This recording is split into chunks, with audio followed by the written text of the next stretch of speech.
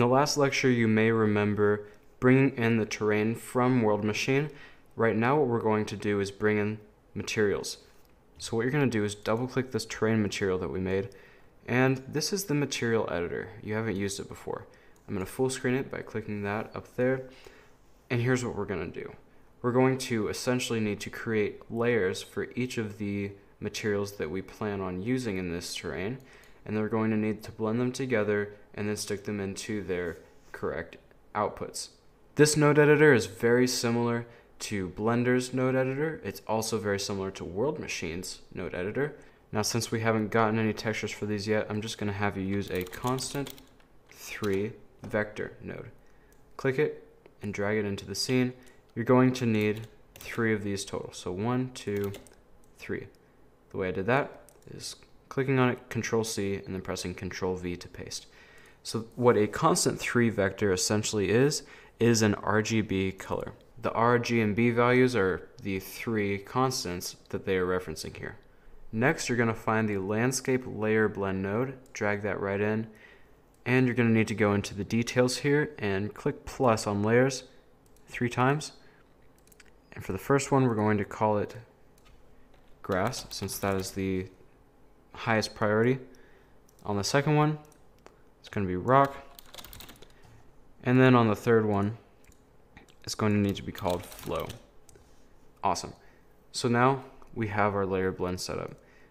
Plug this output into the base color. The base color signifies what is going to come out in the color channel on this material. And then take these three and drag them in to their respective slots. Now you're going to want to take the layer grass turn it green if you want. This is just so you can visualize how the layers are going to come out. And then layer rock, I'm going to make it a dark grayish navy blue. And once you got that, press the save button. And then you can X out the material editor and we're going to apply this to the terrain itself. So if you remember this process, it's great. Go to the landscape tab. If you imported it in the last lecture, it'll all still be here. Except now there's a new thing. It's a layers and there's three array elements. So what you're gonna have to do here is click the plus icon next to each of these, choose weight blended layer, and then click OK. And do that for all of them. This is just so they can get the info in here. And then you're going to need to click the three dots for each of these. And then you're going to choose the correct image for each of these. So for grass, it's going to be grass. For rock, it's going to be rock. And for flow, it's going to be flow. Now that we have all that going, it's time to import the terrain. So click import and you'll see everything is turned into a checker pattern. But that means that shaders are still compiling. You can see there's 20 left. And now we can see how we did. So the green part is where all of the grass is going to go, and the gray part is where all of the rock is going to go. It looks good. So what we're going to have to do now is create some materials to substitute out for the green grass and the gray rock. But first, to get a sense of scale, press the play button and you can see just how huge this environment is.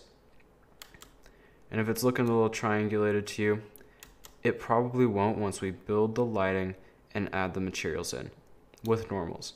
And remember that you still have all of those techniques with foliage and props to apply to this. So this is just a baseline. If you were going to create an open world, you'd want to create so much more than just this. And I'll go over some more techniques with you in just a second.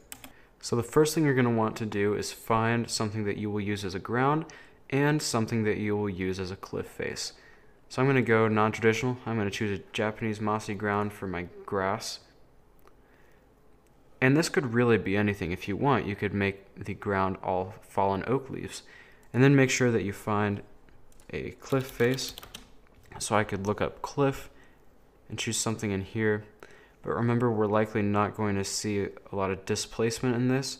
So I'm just going to choose a basic rock texture. Something like this could be cool, so I'm just going to download it. You may want to grab a few options just in case. Once you've got your assets, just select them. You can even select one and then control click the other one, and that will select all of them, and then you can export both of them at once, or however many you chose. It'll give you the message once it's exported successfully. And now we play the waiting game because these textures, as you're probably well aware right now, take a while to export into Unreal. Now that we've got our assets in Unreal, it's time to do some serious work on this material. So I'm going to go into the Megascans folder under Surface, and we're going to start replacing these color textures with actual textures. So I'm actually just going to click drag to create a box select and then delete both of those colors. Next, navigate to the folders where you kept your materials and then drag the albedo textures into here. Albedo just means it's a basic color texture. Now drag the RGB pin into the layer grass for the one you chose for your ground and then take the rock albedo texture and drag that into layer rock. Now we're going to save it just to make sure everything is looking alright in the editor. And once the shaders are done compiling, this is what we have. Now, right off the bat, it looks pretty good. If I play it, which is the true test, it looks alright. It looks really good. So, it can obviously be improved, and here's how we're going to do that. Basically, I'm going to take this layer blend node, I'm going to take all this stuff, drag it over here, I'm going to control C the layer blend and control V to paste it. I'm going to put it right over here so that we have a normal input. And so now I'm going to take the normal maps, those are the purple looking textures, and essentially what they do is they tell the renderer to reflect light off at an odd angle to give the illusion of more geometry than there actually is.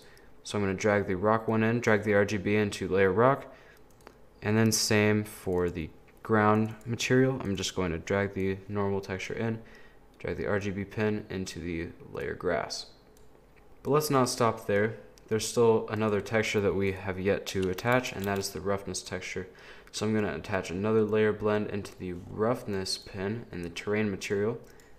And I'm going to drag in the roughness textures from the material folders and drag the RGB pins into their respective slots on the layer blend. Now that you have all that, click save and let's see what it did to the material. Ah, much better. More realistic at least. The only problem is now it looks like a checkered pattern off on this mountain here. Even though up close it looks very, very cool. I'm just going to play it to see what it looks like in the... Oh yes, that looks very nice.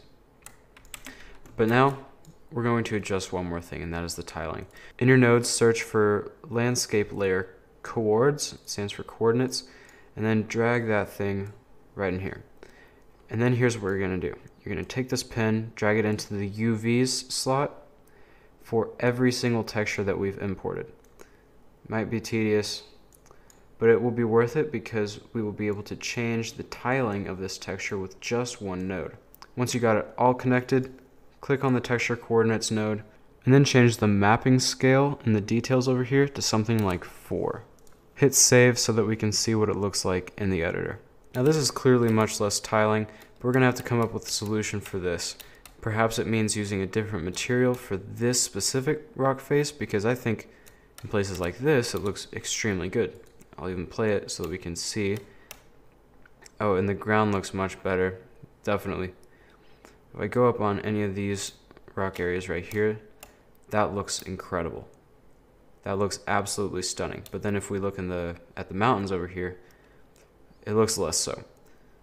So there's multiple things we can do to fix that. Either we adjust the tiling even more, or we use fog to blur out this area in the distance, or we use a different material that doesn't look as bad when tiled, or there's going to be something else that we can do, and you're going to learn about it very soon when we dive into Quixel Mixer.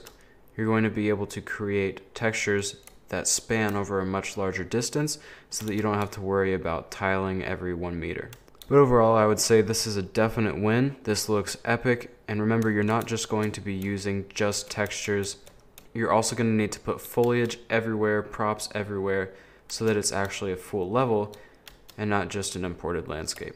This pathway right here especially is super cool. So let me go over with you a few more functions that you can use with this terrain tool. The first of which is going to be painting.